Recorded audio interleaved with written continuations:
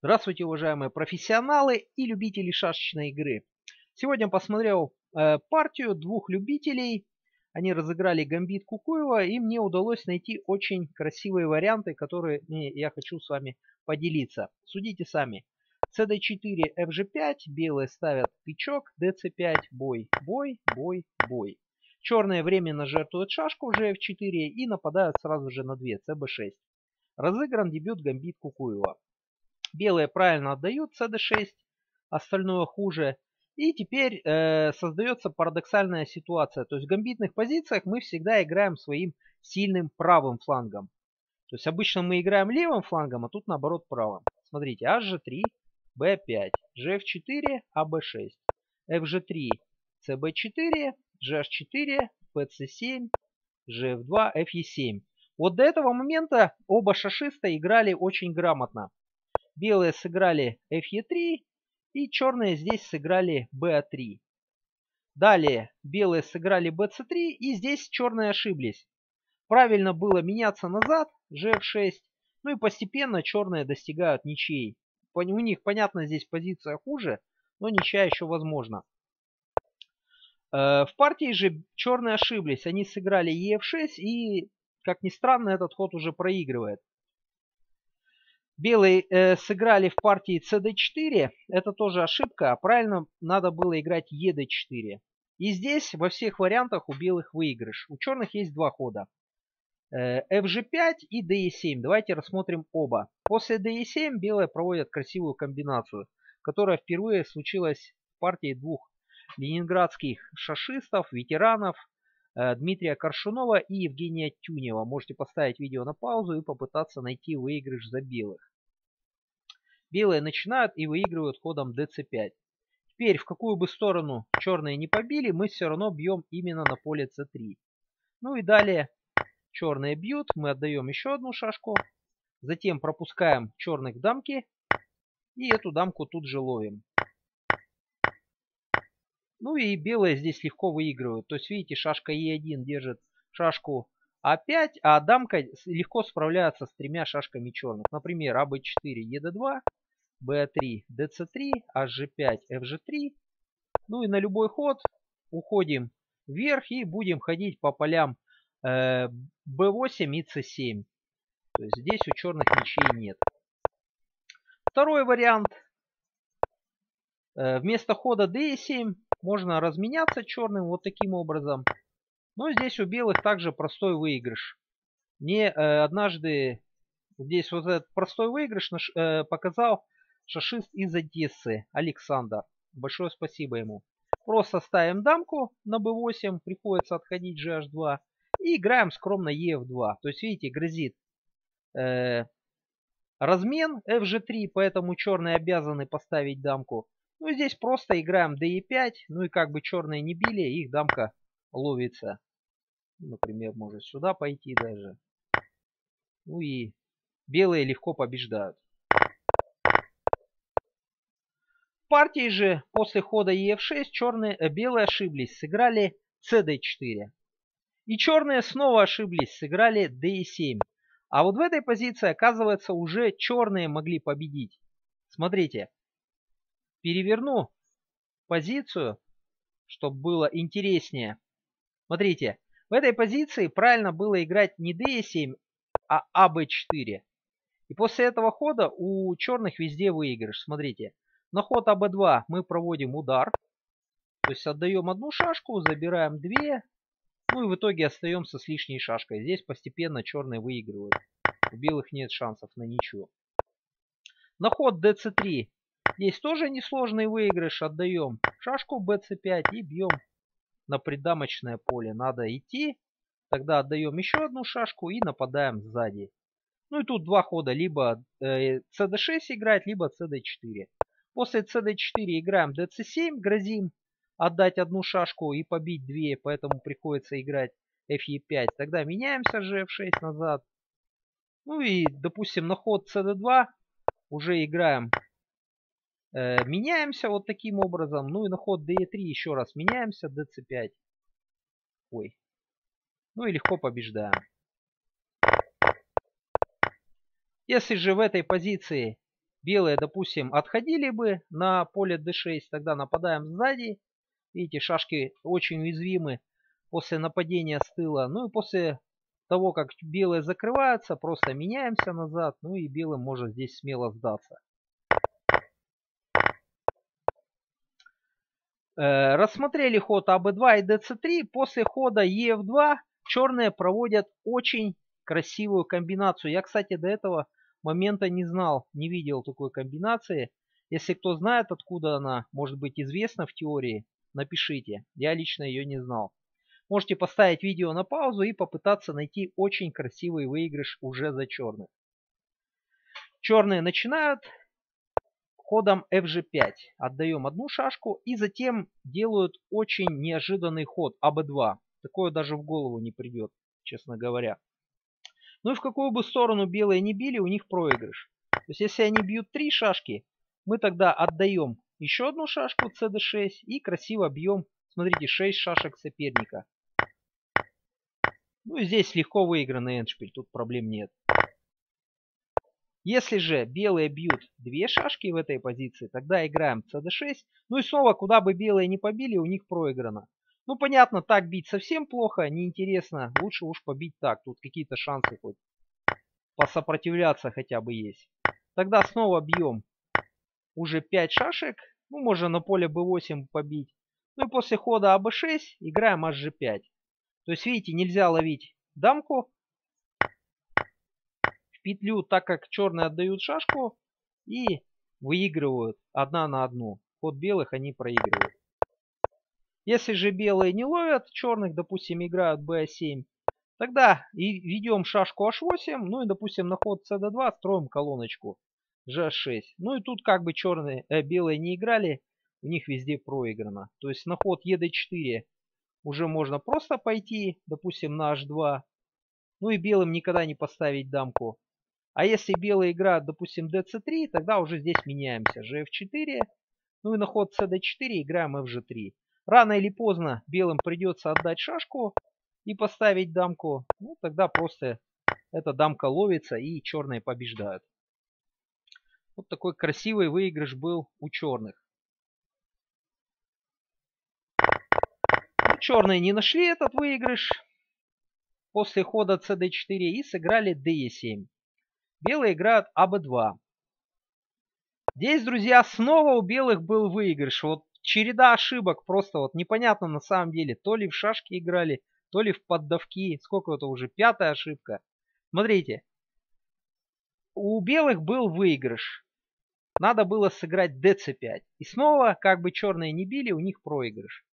Похожая комбинация мы сегодня уже видели из партии э, Коршунов-Тюнев.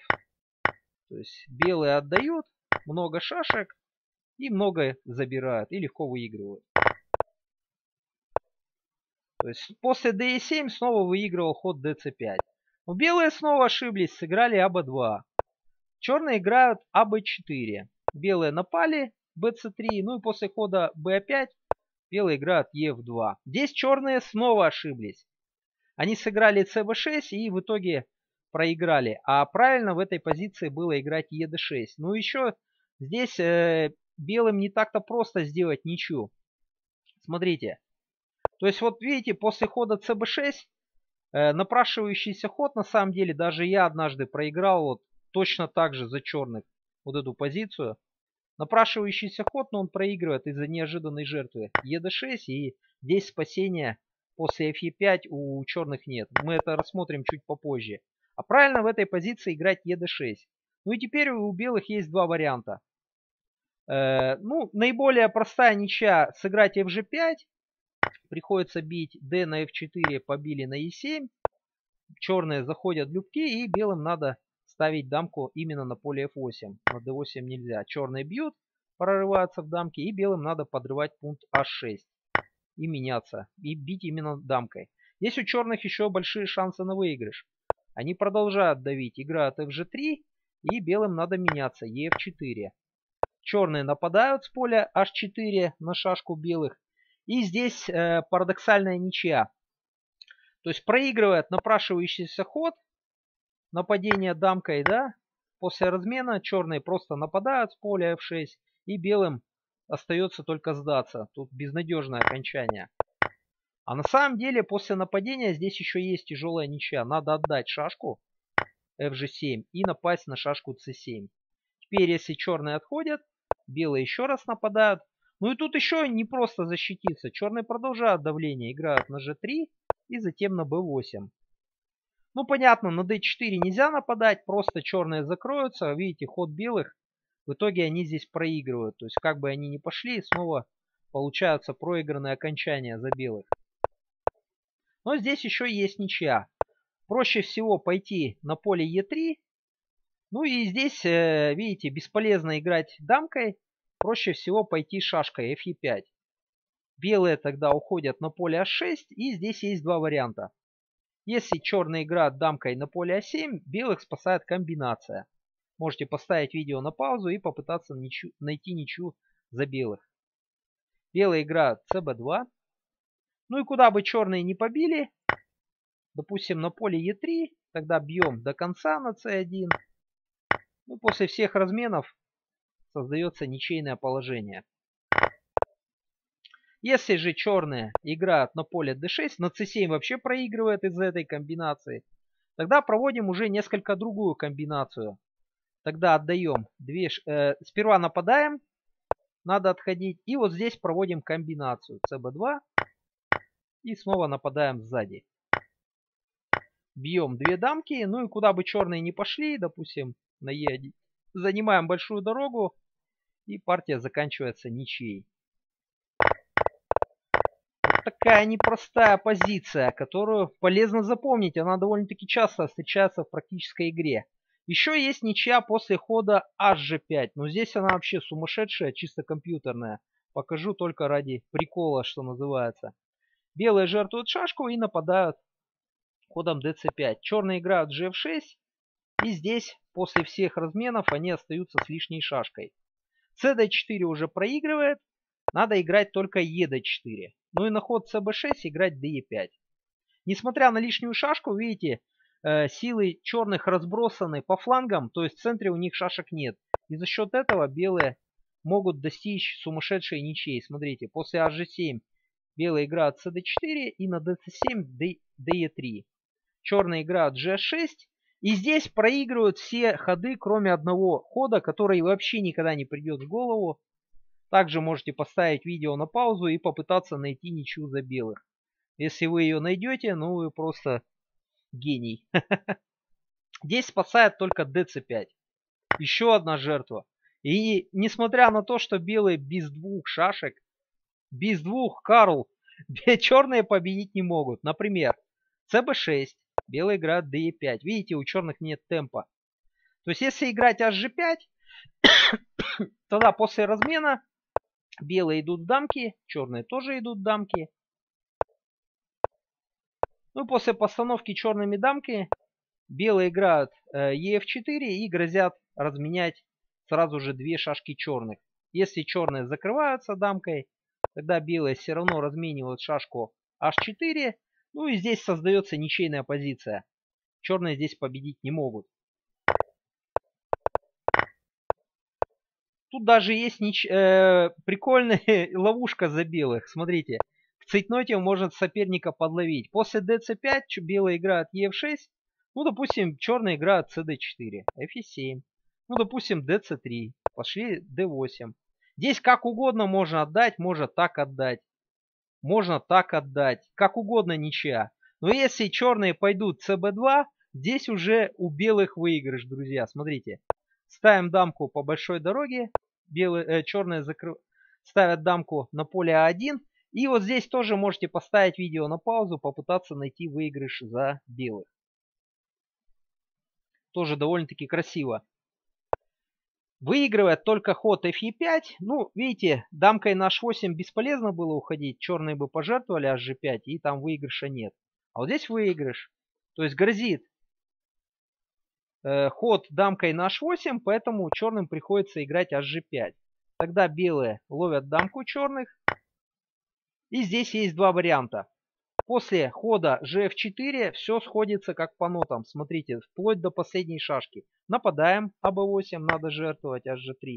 И черные пытаются пройти в дамки. Белые жертвуют первый раз дамку. Черные играют АБ4. И мы снова ведем вторую дамку. Черные снова жертвуют шашку. И здесь надо пожертвовать уже вторую дамку. И видите, одна шашка белых побеждает. Ну, как говорится, один в поле воин.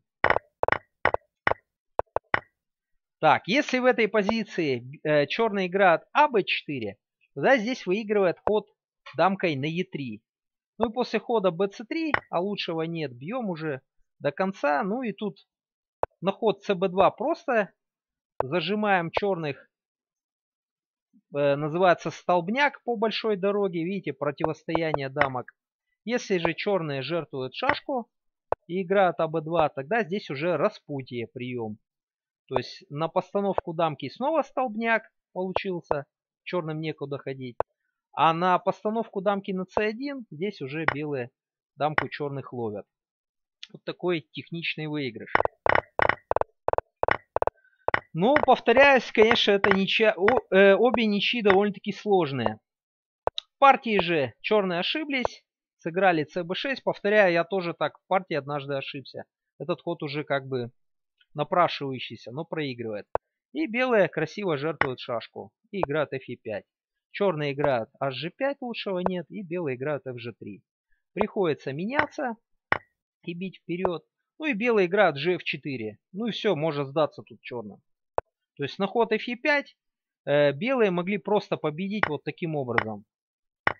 Ну и все, черным просто некуда прилично пойти. Надо сдаваться. Но белые почему-то побили в эту сторону.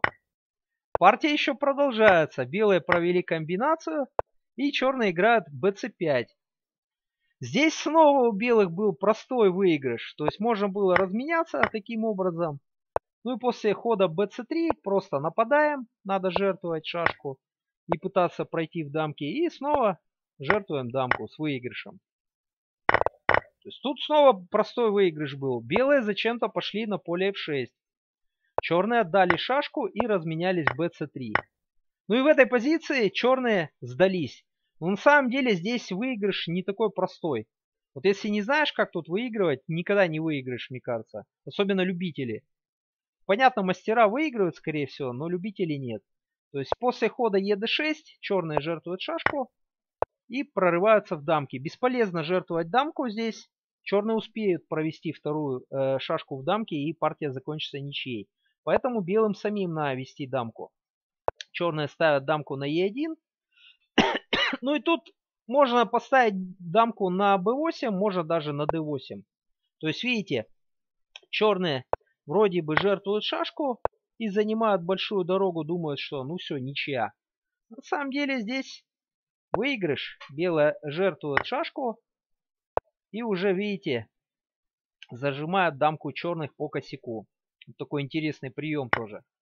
Сегодня много приемов рассмотрим шашечных. Но, в принципе, можно... Э, так, прошу прощения, на b8 не надо. Так, удалить. Э, то есть грозит hg5. На b8 ставить нельзя. Ну, допустим, белые уводят дамку на a1. Тогда черные играют hg5. И здесь уже надо э, черным не дать провести вторую шашку в дамке. Допустим, cb8, gh4. Ну и кажется, что ничья. Как проводить шашку А3 в дамке? То есть черные, видите, грозят провести шашку H4 при случае в дамке. Непонятно, как выигрывать. А на самом деле здесь простой выигрыш. Белые играют на H8. Ну и тут есть два варианта. Либо защищаться по косяку черным, либо по двойнику. Давайте рассмотрим оба. Если черные защищаются по косяку, тогда играем на D4. Ну видите, на E1 уже нельзя из-за такого из-за такой ловли, ну, допустим, бел, э, черные играют на d2. Тогда белые красиво отдают большую дорогу, и видите, черным некуда ходить. То есть большую дорогу они не могут занять из-за так называемого трамплина, и белые выиграют. То есть и черным приходится уходить, допустим, по тройнику, и белые свободно проводят третью шашку в дамке, строят боевую позицию и выигрывают. Кто не знает, как строить боевые позиции, подсказку оставлю в верхнем правом углу. Здесь легкий выигрыш. А видите, по косяку защищаться нельзя, потому что здесь тоже стоит ну, несложный ударчик. Можете э, сами самостоятельно попытаться найти его. Как здесь выигрывать? Белые отдают шашку. Ну и видите, на срединные поля бить нельзя из-за так называемого трамплина. То есть белые жертвуют еще дамку. И затем бьют шашку и дамку. Если же черные бьют до конца, тогда здесь уже, видите, черным мешает собственная шашка. И белые легко побеждают. Так, рассмотрели по косяку, то есть защищаться в этой позиции невозможно. Если же черные защищаются по двойнику, тогда смотрите, как побеждают белые. Ну, допустим, АБ4, FG1, Б5. Допустим, ушли на А7. Ну, здесь вообще простейший выигрыш. Ставим дамку на поле Е5 и на любой ход, вообще абсолютно любой, куда бы черные не пошли, просто жертвуем шашку. АБ6. Ну и снова уже э, получается столбняк по двойнику. То есть, видите, приходится жертвовать шашку. Допустим, сюда. Ну, просто зажали и выиграли.